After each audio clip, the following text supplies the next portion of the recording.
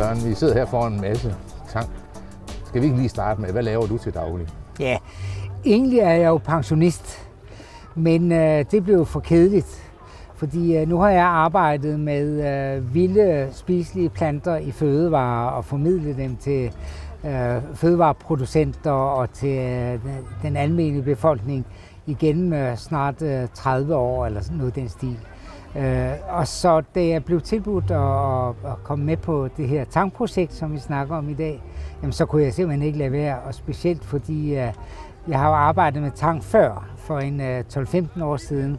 Der havde jeg et projekt i samarbejde med Småøernes Fødevarenetværk og øh, øh, øh Region Syd, som gik ud på at lære danskerne at spise tang og lære fiskerne, at øh, tang det ikke bare var noget, der var ubehageligt at få i nettene, men det var faktisk også noget, der kunne gøres i penge og gøres i gode, sunde fødevarer. Dengang blev det ikke til så meget, fordi de der fiskere der, de kunne simpelthen ikke øh, døje tanken om at arbejde med tang. Øh, så, så projektet det, det blev gennemført, og vi fik faktisk et par tankproducenter op og køre og vi fik også lavet nogle produkter. Øh, nogle af jer kender måske øh, Skarø Is. Nej. Det er måske ikke alle, der er klar over, at Skarø Is indeholder tang. Men det gør det faktisk til en af de sundeste is i Danmark. Øh, og øh, tilsvarende er der faktisk flere af vores bryggerier, som brygger øl med tang i. Og det er ikke nogen dårlig øl, skal jeg hilse at sige. Så vi, vi holder os lige til, hvad, hvad ja, du har taget med ja, her i dag. Ja. Hvad er det for noget, udover det tang? Jamen det, som vi øh, skal her i vores tankprojekt, det er, at vi skal lære danskerne, at vi har faktisk en lang række sunde og gode og velsmagende tankarter i vores danske farvand. Vi har de første 20-30 forskellige arter, som folk de øh, sagtens kan gå ned til stranden og, og, og plukke, samle og, og bruge i deres madlavning. Øh, den, den almindeligste tangart, vi har, det er den, vi ser her. Ja. Det er blæretang, ganske almindelig blæretang. Øh, som her er ristet med en lille smule olie og lidt sesamolie og sesamfrø, øh, og så ind i en ovn ved 120 grader, indtil det bliver sprødt. Øh, når første gang man prøver det, bliver man forskrækket, fordi tangen skifter farve fra, fra brun og bliver irgrøn, men det er altså tangens natur, sådan bliver det bare. Og så bliver den sprød, og jeg siger bare, at det er en, et produkt, som, som specielt børn de er helt tosset med. Jamen lad mig prøve det. Ja, det må du prøve. Jeg vil tro, at 95 procent af dem, der smager ristet bæretang, de synes, at det er fantastisk. Og det går som en, øh, en god, sund chips til et glas mm. øl eller et glas hvidvin, og man kan lave en lille dip til. Men det er ikke den eneste måde, man kan bruge blæretang på. Jeg har her jeg har lavet en uh, japansk inspireret uh, salat med lidt uh, uh, risvinedike og lidt uh, øh, soja i, en lille smule chili mm. og lidt øh, revet ingefær. Og så er der kommet noget i, som hedder katsubushi. Det lyder skrækkeligt besværligt, men det er sådan set det, er sådan set det der giver umami-smagen til, til den her ret. Umami, det er det der, vi forbinder med velsmag. Øh, og det er, det er meget fint skåret, tyndt skåret øh, tunfisk, mm-hmm. som man kan købe i de fleste velassorterede supermarkeder. Ja. Og, og, og den her salat, den er, der er altså blæretang, som lige er blancheret lidt, og så er der øh, lidt gulerødder i, og så er den her dressing. Og så kan man kombinere det med lidt øh, blåmusling og lidt reje og lidt kold fisk, eller hvad man nu har lyst til. Ikke? Så det er sådan en anden måde at bruge blæretang. Så har vi så en tredje måde her, og det er sådan den måde, at mormor ville øh, servere blæretang på, øh, hvis det var hende, der bestemte. Det er syltet blæretang, som er lavet på præcis samme måde, som øh, når vi laver syltede agurker. Altså en øh, eddikelage med noget sukker i, og noget øh, sennep, og, nogle lidt krydderier, lidt laurbærblade og lidt allehånde.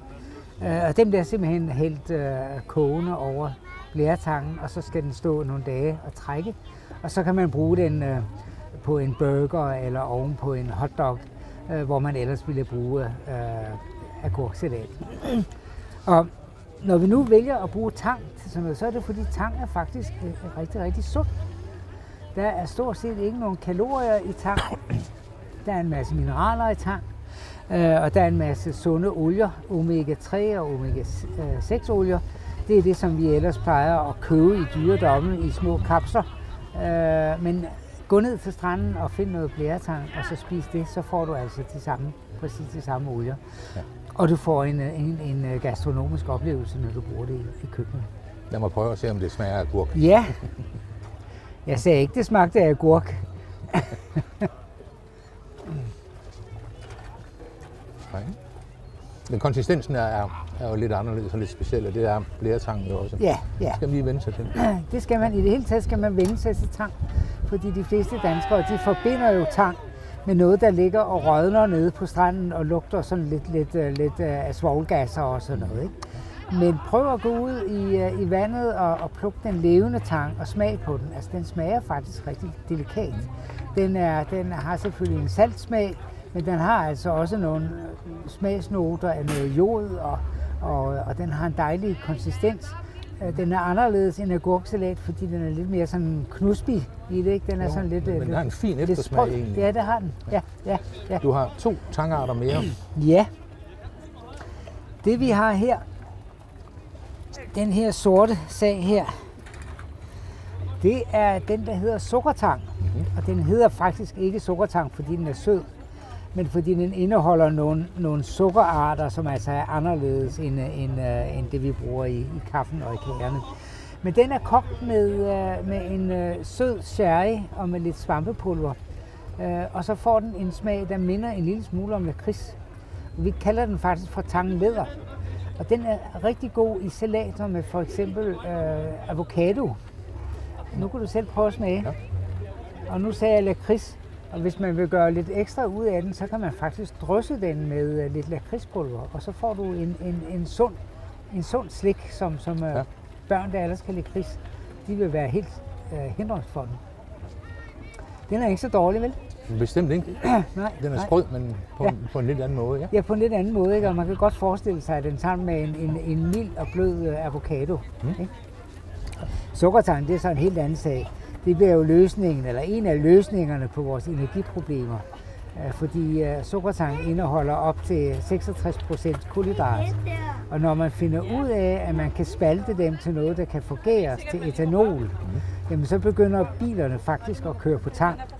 Øh, ikke bare i Danmark, men i hele verden, fordi sukkertang og lignende tangarter er så udbredt i, i, i verdenshavene, så det er formentlig den mest udbredte tangart vi har overhovedet. Så du sidder med Men fremtiden det, i hånden? Jeg sidder simpelthen med fremtiden med hånden, ja. Og både, både på, på middagsbordet og uh, i vores biler. Og så, så spurgte du til, til den røde her, ja. Og den er, den er meget speciel. Det er en, uh, en tangart, der hedder søl. Mm-hmm. Og nu, nu lyder søl, det lyder måske ikke umiddelbart uh, som særligt positivt. Og uh, den har også en overvældende stærk smag af, af hav når man så lige putter den i munden i, i første omgang. Men øh, når man så tykker lidt på den og, og lader den opløse sig lidt, så har den faktisk også en, en, øh, en fin smag af lakrids i baggrunden. Og det gør, at øh, selvom den smager så kraftigt af hav, så kan man faktisk bruge den i en is. Man gør det, at man øh, lader tangen trække i varm mælk i, øh, i et, øh, et stykke tid, til 15 minutter. Og så kan man så bruge den mælk som basis for en, øh, en, øh, en is, som dels får en, øh, en øh, fin smag af lakrids, og dels får en dejlig lyserød farve. Og så var søen, det var så i øvrigt øh, den tangart, som, som øh, vikingerne spiste på Island i øh, middelalderen, øh, da, de, da de boede deroppe og havde svært ved at, at, at finde fødevarer i, under den lille istid. Så spiste de i høj grad øh, tang, og, og den tangart, de foretrak, det var altså søen. Og i dag øh, får du serveret søen når du kommer på, på pop i Irland, eller Skotland, eller Wales, sammen med et, et, et godt glas Guinness. Og hvis det skal være rigtig fint, så er den røget over æblebrænde. Og det er den så ikke her, men stadigvæk er, det, den fantastisk. Og hvis man nu har en veganer i familien, jamen, så kan man prøve at stege den her søl lige så forsigtigt i lidt smør på en pande, og så servere det øh, oven på en øh, omelet for eksempel. Så er det nemlig blevet til havets bacon. Det får sådan en baconagtig smag, som gør det rigtig, rigtig godt til æggeretter. Og så er det altså som sagt øh, rent vegansk. Det er den bedste, jeg har fået, især når man sådan lader den blive i munden. Ja, og, man skal ikke blive forskrækket, man skal lade den blive i munden ja. og, og opleve smagen udfolde sig. Det er nemlig rigtigt. Men så har du taget så... noget pesto med. Det ved jeg, hvad er. Ja. Det gør jeg. Ja, det ved jeg ikke, hvad du ved, men den her grønne pesto, den er lavet på søsalat. Og søsalat, det kender vi jo fra, fra øh, fjordene, øh, hvor, hvor vandet er stille øh, og, hvor, og bliver varmt om sommeren. Der kan søsalaten jo nærmest dække hele fjordarealet med sådan nogle store grønne blade. Det ligner sådan store salatblade. Og den kan man altså bruge direkte i, øh, i en pesto. Man tager den op og lader den dryppe af. Man kan også tørre den først. Det bliver den faktisk ikke dårligere af. Og så laver man en pesto med lidt, øh, lidt øh, olivenolie, lidt hvidløg og lidt øh, ristede mandler i det her tilfælde. Øh, og lidt øh, vinedik og en lille smule honning. Bare en lille bitte smule honning. Og det smager altså kanon godt. Man skal huske lidt ost i også. En parmesanost eller en god øh, Vesterbottenost eller den nede fra Naturmælk nede i Tinglev. Så fik vi også det med. Prøv at tage sådan en, en ja. lille øh, tang øh, knækbrød. Og så får du lige sådan en teske her. Og så kan du fiske lidt. Og sådan en pesto kan man jo stort set bruge til det hele. Uh, altså bare på et stykke mad er det jo rigtigt, ja. men det er det jo rigtig godt. Men du kan jo også bruge det til en kold kylling eller noget koldt kød, eller, eller ja, stort set til det hele i en salat. Du kan komme det i en suppe, en fiskesuppe, og så lige en skive pesto i, ikke? Altså, så er det jo virkelig ja. lækkert. Så hvad siger du om Fantastisk. den? Fantastisk. Jeg synes også, den er glimrende. Den er også glimrende, ja. Jeg havde besluttet mig til, at jeg ikke ville smage på noget, fordi... Ja, ja. Men, ja. men jeg har ikke fået noget, jeg ikke vil smage. Nej, nej. Og det er jo karakteristisk. Altså jeg vil tro, at 95 procent af dem, der har været forbi der, jamen de siger jo, det smager jo godt. Mm. Ikke? Det smager jo fantastisk godt. Ikke? Ja. Og så er der selvfølgelig nogen, der bedre kan lide pestoen end, end uh, chipsene, eller nogen, der er helt vilde med, med tanglederet. Mm. Det er jo sådan lidt individuelt. Men der er ikke nogen, der har haft noget dårligt at udsætte på tang. Så det eneste, vi skal gøre, det er, altså, at vi skal præsentere danskerne for tang igen og igen og igen. Og det gør vi jo på festivaler ligesom her. Eller hos din lokale fiskehandler. Øh, eller i supermarkedernes delikatessebutikker. Øh, og så på forskellige workshops, øh, som øh, også nogle gange er åbne for publikum. Så man selv kan komme og, og prøve at, at få fingrene ned i den der tang. Så Tang kan andet end at ligge og lugte på stranden. Så tak fordi du førte os ind i tangens forunderlige verden.